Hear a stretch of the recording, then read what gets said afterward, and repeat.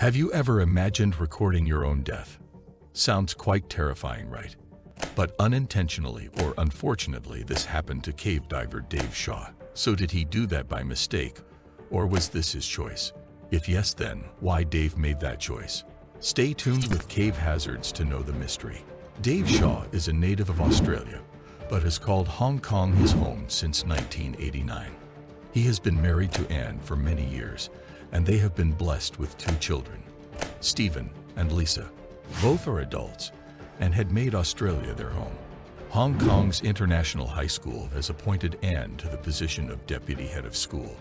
She does not have any interest in trying scuba diving for herself, but she is very patient with Dave's enthusiasm for the activity.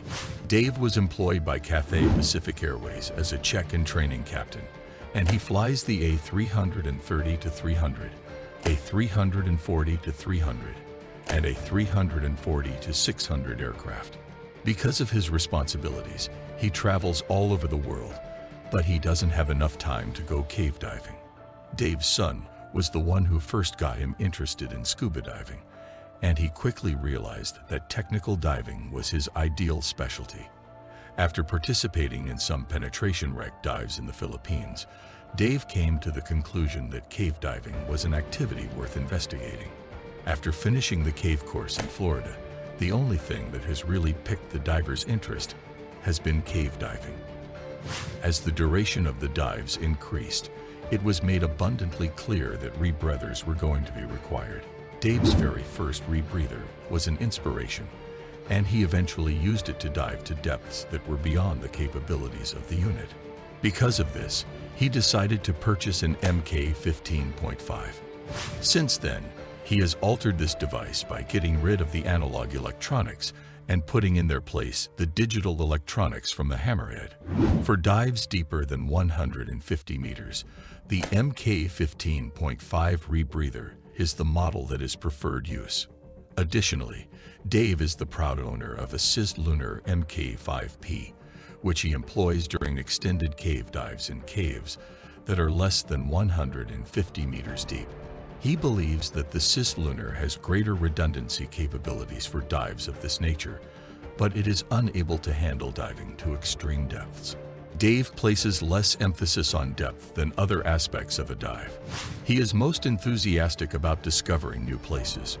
To be in a location that no other man has ever explored before is, in his view, the pinnacle of human achievement.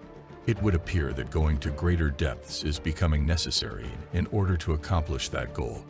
Dave Shaw was able to descend the 271 meters to the bottom of the Boesmansgat Cave in only 10 minutes, which was only half of the time that was planned. He found the skeleton of Dean Dreyer. The world record diver entered the freshwater cave to retrieve the remains of Mr. Dreyer, who was 20 years old Video footage shot by Mr. Shaw indicates that approximately 25 minutes after the world record diver entered the cave, Mr. Shaw also passed away. The body of the Australian airline pilot was unexpectedly pulled to the surface attached to Mr. Dreyer's body. This turned out to be a bizarre turn of events. It appeared that Mr. Shaw had become entangled in the nylon line that he had used to secure Mr. Dreyer's body. The bodies were discovered 20 meters below the surface by divers who were retrieving equipment that Mr. Shaw had left behind. Both bodies were brought to the surface when the line that was attached to Mr. Dreyer was pulled. The video camera that was specially designed for the recovery mission and worn on Mr. Shaw's helmet has provided a record of his last few minutes of life, even though an autopsy has not yet been finished. The Boesmansgat Cave is located in the northern Cape Province of South Africa and is the third deepest freshwater cave in the world. Mr. Shaw, a pilot based in Hong Kong who is 50 years old, became the first and only person in October to dive 271 meters with the assistance of rebreather equipment, which allows divers to recycle the air they breathe while underwater. Mr. Shaw emerged from Boesmansgat Cave his accomplishment has been overshadowed by his discovery. Even while still dressed in a wetsuit and diving gear, the Australian continued to make attempts during that initial dive to retrieve the remains. However, the fuel tanks were covered in mud throughout their entirety. Mr. Shaw promptly started making plans to bring the remains of Dean Dreyer, who had drowned on December 17, 1994, to the surface of the water as soon as possible. Mr. Shaw shared his discovery with Mr. Dreyer, who is Dreyer's father. He said, I promised to do my best to bring him to the surface, but reminded him there was no guarantee of success. I promised to do my best to bring him to the surface.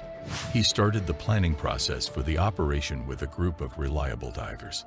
The body of Mr. Dreyer was supposed to be brought to the surface by a group consisting of eight technical divers and two police divers. Mr. Shaw's flight arrived in Johannesburg early on the morning of January 2, just a few hours after he had said his final goodbyes to his wife. Anne, Mr. Shaw stayed the night at the house of Don Shirley, a diving instructor who specializes in technical diving.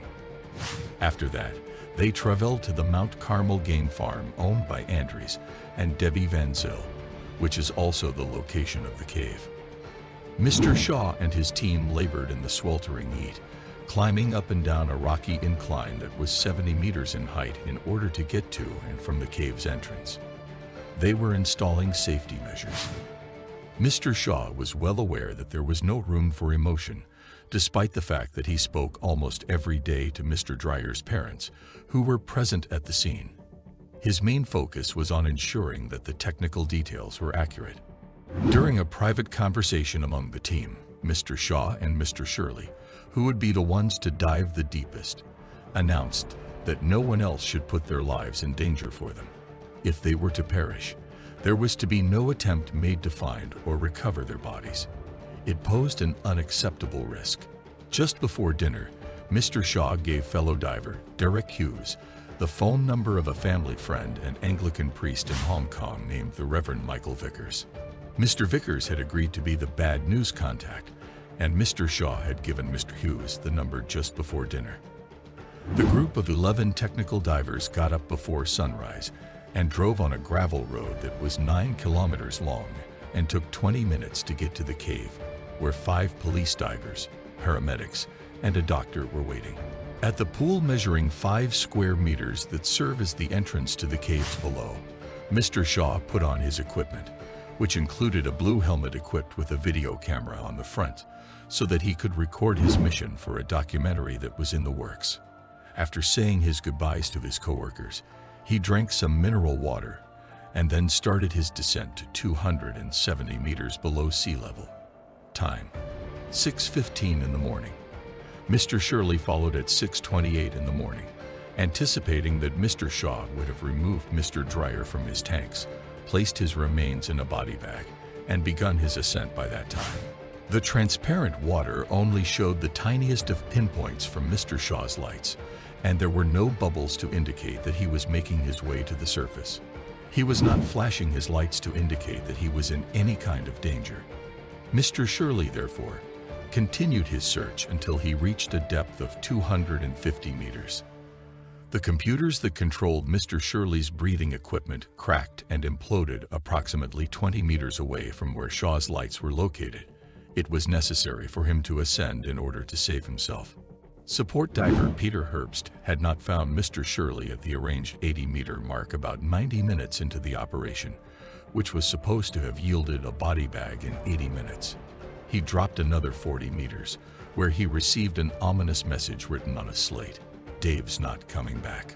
Derek Hughes phoned Mr. Vickers just under four hours after the dive had begun and Mr. Vickers waited an hour before going to Mrs. Shaw's house to break the news that her husband had passed away. Mrs. Shaw had requested that the body of her husband not be recovered, but in the end, it was discovered. So what do you think about this incident? Do tell us in the comment section below if you like this video. Then please leave a like and subscribe to our channel for more amazing content. Thanks for watching, and we'll see you in the next one.